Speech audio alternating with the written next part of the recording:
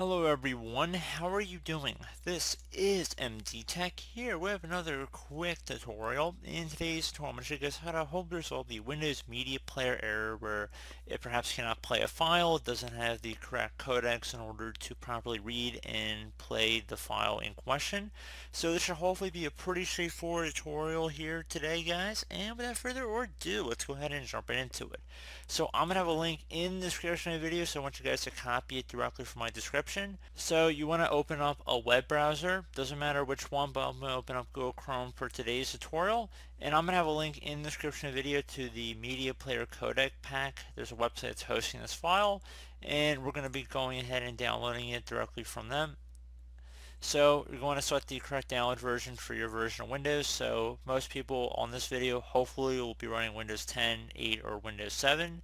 We're going to go select the download option for that respective version of Windows. If for some reason you're on this video running Windows 2000 Server 2003 or Windows XP, you're going to select the other download, but I'm really hoping that by now that would not be the case. So again, just go ahead and click on the correct download link.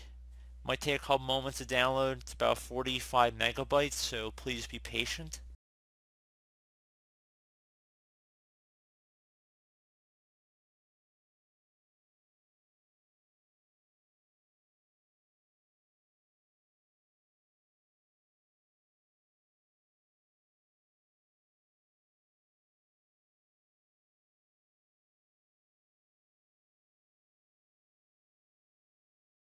Once that file is downloaded, you want to go ahead and open it up.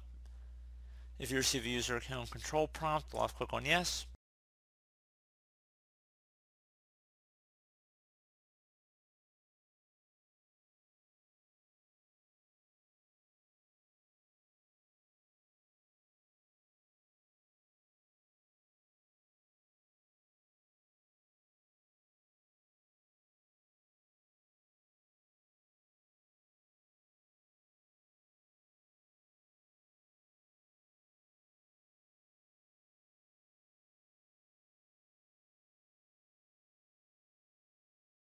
Okay, so you want to select the easy installation and then select next.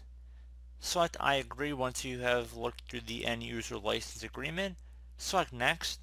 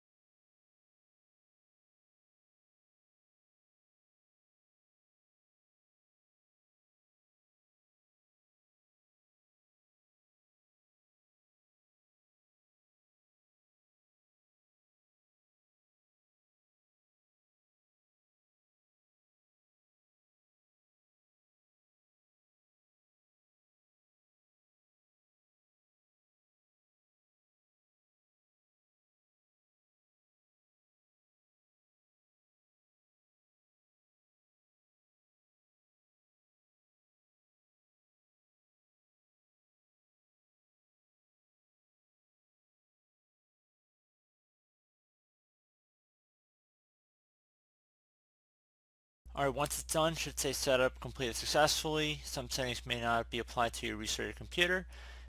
So would just restart your computer and hopefully that should have been able to resolve your problem. So as always, thank you guys for watching this brief tutorial. Hope I was able to help you out and I do look forward to catching you all in the next tutorial. Goodbye.